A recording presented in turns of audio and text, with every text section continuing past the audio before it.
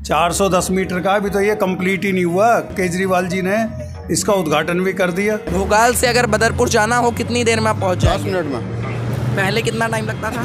दो घंटे। अंडरपास तो कल चालू कर दिया गवर्नमेंट ने परंतु ये चालू नहीं करा फुट ओवर ब्रिज हमारी तो दुकानदारी सारी खत्म हो गई। जाम नहीं है पहले जाम लगता था। मतलब डेवलप हुआ है और अच्छा हुआ है। दिल्ली सरकार ने अंडर पास बनाया है वहाँ नहीं होता है जाम होता जाम वहाँ से हट गया यहाँ पे आ गया। यहाँ तो बरसात में बनना है बनना है एक सौ एक परसेंट पानी बनना है। बैंक साथी दे रहा है पचास हज़ार रूपए तक कमाने का शानदार मौका और वो भी बिना किसी इन्वेस्टमेंट के। आज ही बैंक साथी ऐप डाउनलोड करें। लंबे इंतज़ार के बाद आखिरकार आश्रम चौक के इस अंडरपास का उद्घाटन कर ही दिया गया है। जी हाँ आपको बता दें कि जनता को जाम के चलते काफ़ी सारी समस्याओं का सामना करना पड़ रहा था। अब इस अंडरपास का उद्घाटन हो गया है, जिसकी वजह से अब जनता को जाम से निजात मिलेगी। इस अंडरपास पे तमाम गाड़ियाँ लगातार निकल रही है। कुल 410 मीटर लंबे और चार लेन चौड़े आश्रम अंडरपास का उद्घाटन दिल्ली सरकार ने किया। इस अंडरपास की जो आप सड़क दिखाएँ मेरे कैमरामैन बहुत ही अच्छे तरीके से बनाई गई है। आपको बता दें कि न्यू फ्रेंड्स कॉलोनी से भोगल तक के स्टेज में ट्रैफ़िक आज बंद रहेगा।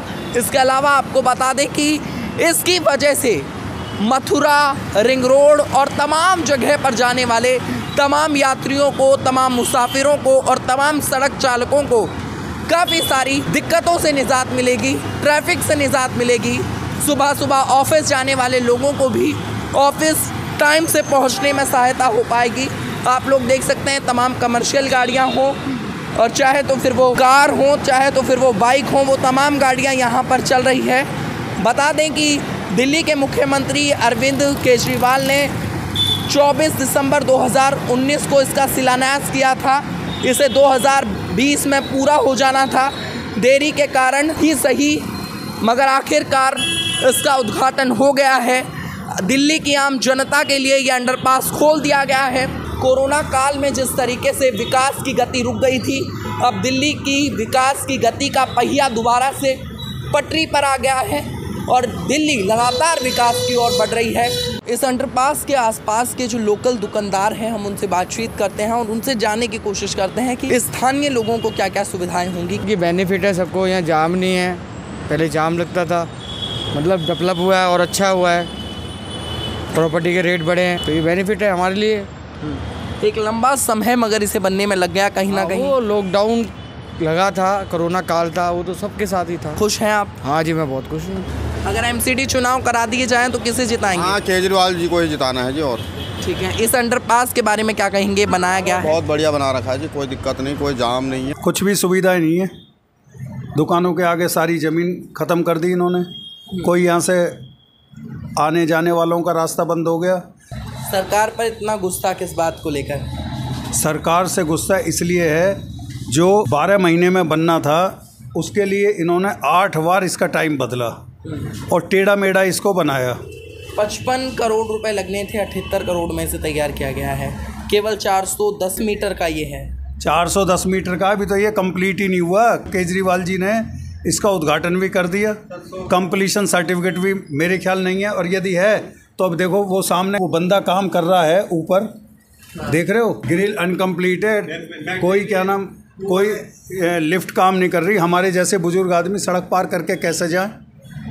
इतना ज़बरदस्त ट्रैफ़िक है। कैसे सड़क पार करेंगे? पटड़ियाँ जो है ये अनकम्प्लीट है। मतलब पुराने माल का ये बनाया है पुल वगैरह। तो ये फुट ओवर ब्रिज बना है। ये पुराना जो इधर फुट ओवर ब्रिज था उसी के मटेरियल से बनाया है। और लिफ्ट अभी चालू भी नहीं है। और लिफ्ट चालू होने में भी टाइम लगेगा। आप फुट इसके सर्वे करो ना जो ये क्या नाम फुटपाथ बनाया है कहीं से बैठा हुआ है कहीं से उठा हुआ है कहीं क्या नाम नीचा है कहीं ऊँचा है कहीं टेढ़ा है कहीं मेढ़ा है इस पे प्लास्टर इस पे प्लास्टर होना था प्लास्टर तक नहीं हुआ। कितने सालों से आप यहाँ पर दुकान लगा रहे हैं? यहाँ पे कम से पचास साल हो गए। केजरीवाल सरकार के काम से संतुष्ट हैं? नहीं दी बेकार है। हमारे यहाँ के बेकार है। अच्छा ये अंडरपास बनाया है दिल्ली सरकार ने? दिल्ली सरकार ने अंडर पास बनाया है वहाँ है जाम होता जाम वहाँ से हट गया यहाँ पे आ गया।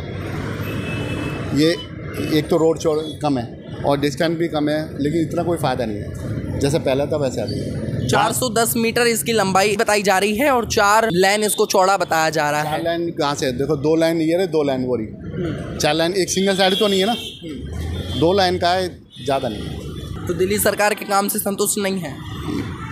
प्रॉपर तरीके से नहीं हो चौड़ा रोड भी चौड़ा होता सब कुछ होता तब पता चलता। अगर कहूँ दस में से इसे नंबर दीजिए अंडरपास को कितने देंगे? छः छः नंबर चार नंबर किस चीज़ के काटेंगे? चार नंबर एक तो टाइम रेट ऊपर से लोगों को परेशानी हुई है। सीवर लाइन अच्छे प्रॉपर तरी नहीं है जो सीवर वगैरह है ना प्रॉपर तरीके से नहीं है सारा सारा। सीडी चुनाव अगर हाल फ़िलहाल में करा दिए जाएँ तो किसे दोबारा बनाना चाहेंगे? सब चोर हैं। अंडरपास तो बना है, मगर दुकानदार इससे खुश नहीं दिखाई दे रहे हैं। वहीं कुछ लोग खुश भी हैं, ऐसा नहीं है कि सभी लोग इसका विरोध कर रहे हैं।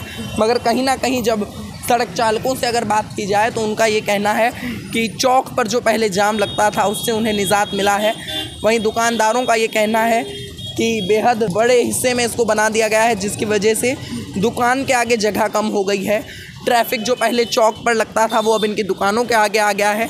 तमाम शिकायतें जनता की है, तमाम परेशानियाँ जनता की है।